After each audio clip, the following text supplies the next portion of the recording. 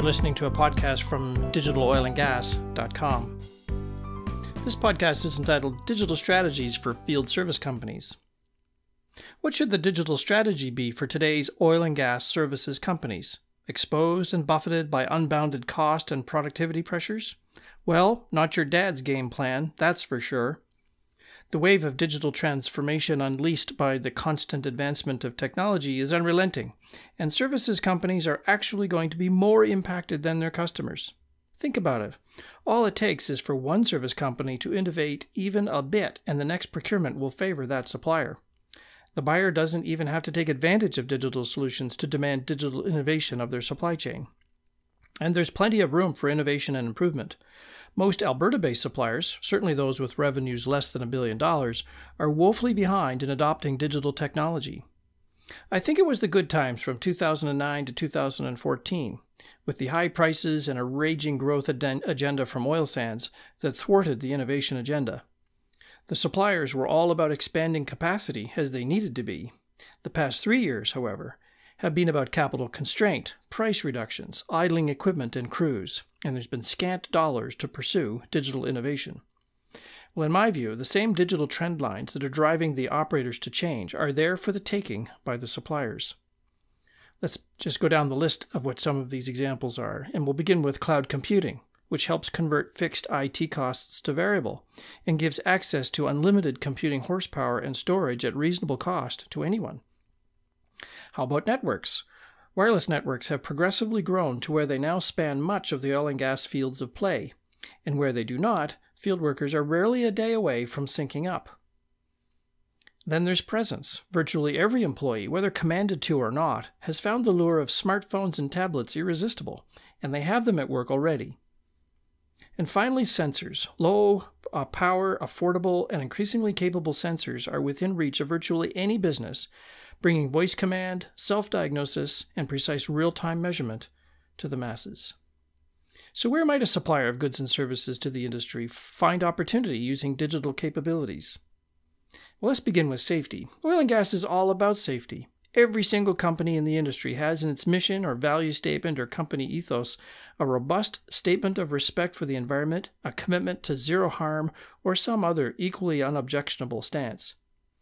But should this just translate into protective clothing and hard toed boots? In my view, suppliers are underinvested in the kinds of digital solutions that improve their safety performance. People, assets, equipment, and rentals are still, for the most part, off grid and invisible, except to the naked eye. This simply won't work in a world that features much more automation, drones, robots, and analytics. Suppliers will be far better served by having their crews happily broadcasting their presence to help with man down situations, evacuations, incident data capture, fatigue, and of course, idle equipment. There's another big benefit too better service optimization. All that safety data can also be used to improve productivity and service levels.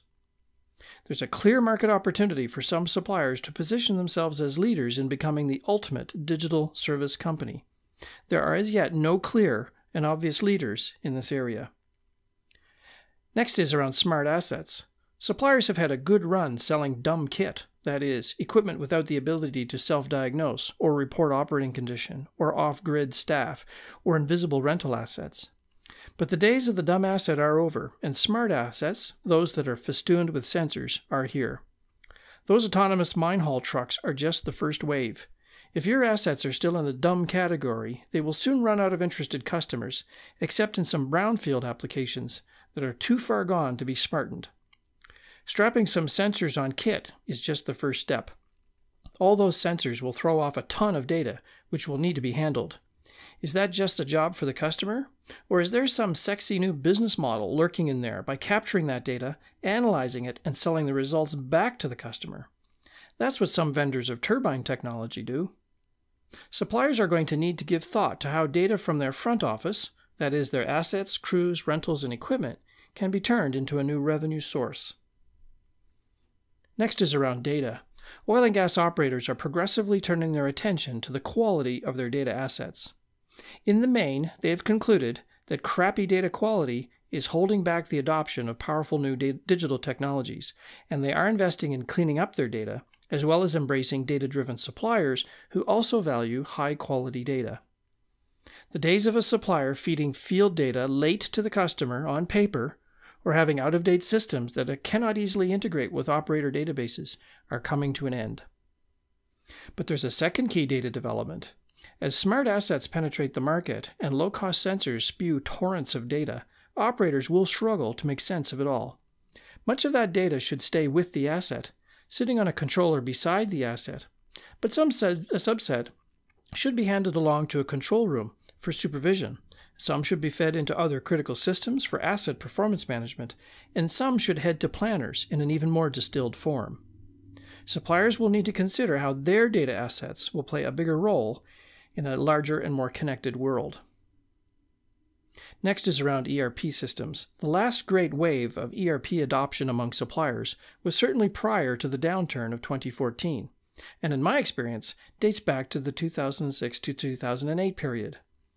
These warhorse systems are now well and truly due for an overhaul for the digital age. Indeed, suppliers who try to run their businesses on ERP versions that predate 2014 are probably using systems that were designed before cloud computing, smart devices, and analytics. This just won't do. They will, if they are not uh, have not already done so, become an impediment to embracing a digital future if they're not replaced or overhauled. As painful as it sounds, suppliers need to confront their ERP systems to determine their viability in an increasingly digital world. I'm betting the ERP systems will be found wanting. Next is other business systems. Just as there's a wave of transformation, uh, transformation building in ERP, there are smaller, similar waves about to unlock in the dozens of other systems that comprise the supplier's information systems environment. Advanced customer analytics, the digital supply chain, yes, suppliers to suppliers need to be digital too, the connected worker, the workplace of the future, all are here or are undergoing dramatic change. This is a bit more of a thorny issue to address because there are likely lots of systems involved. Investment will take more than two budget cycles to address, I'm betting, as most systems will need upgrading or replacing. Next is new business models. The great thing about change is it creates space for incredible innovation in business models. I've already mentioned one new business model, selling specific asset performance data for profit. But here's five more. How about Uber for the field? Apply cloud computing, smart devices, and equipment sensors to create new procurement models and new collaborative business models for field services companies. Solutions are market ready now. And how about Cloud Pump? upload downhole pump operating data to an analytic engine in the cloud in near real time to allow for predictive pump maintenance regimes across multiple operators and suppliers. This is available through GE and their Predix platform. Or how about field inventory? How about converting specific spare parts inventories to pooled inventories across multiple inventory holdings to lower the overall cost of inventory? This is in trials in the UK. How about virtual logistics? Pool logistics operations across multiple players in a specific field to reduce less than truckloads, lower carbon emissions, and reduce driving incidences. This is already in place in many other industries. And finally, integrated operations. How about creating a single integrated services coordinator across multiple services and logistics in a single basin to reduce service costs? This is already in place in Norway for vessels, helicopters, and shore based coordination for the Norwegian North Sea. Well, here are four steps to move forward. If I were a supplier, I personally don't advocate a wait and see approach. There's more than a few suppliers who have grasped the new world we are in and are hell bent on owning it all. So here's a good four step program to getting on with it. Number one is to revisit your business strategy there's a good possibility that your assets are not going to be fit for purpose if they're not smart assets. As a result, you need to revisit your business strategy to determine how you could reposition your company and its assets and services in what will be a profoundly more digital world. New business models beckon. Number two is to embed a digital strategy. While I no longer believe it's possible to have a business that ignores digital or does not have a digital bent to its business model, we are not yet at a place where digital completely trumps business. Therefore, you can, for now at least, consider your approach to digital developments somewhat separately from your business strategy. Your digital strategy should consider these new business models, the role of data, and possible futures that involve a lot more automation, analytics, and devices than today. Number three is to sort out your system's footprint. Unless your information systems are two years old or less, it's highly likely they are not designed for a digital age. So set out a roadmap that allows a progressive and cost effective approach to upgrading your business infrastructure. The upgrade should line up with the business strategy and digital strategy. And if the system isn't key to the strategy and it won't help create a digital future, defer any change. And then, last but not least, is to rethink your capabilities. The digital world is going to need new skills that you probably don't have on staff. Indeed, if you've done a number of layoffs and curtailed hiring, there's a good chance you don't have enough of the technically literate types in the ranks to help guide your way to the future. This transition is so profound, you may need to get some outside help. You have been listening to a podcast from digitaloilgas.com.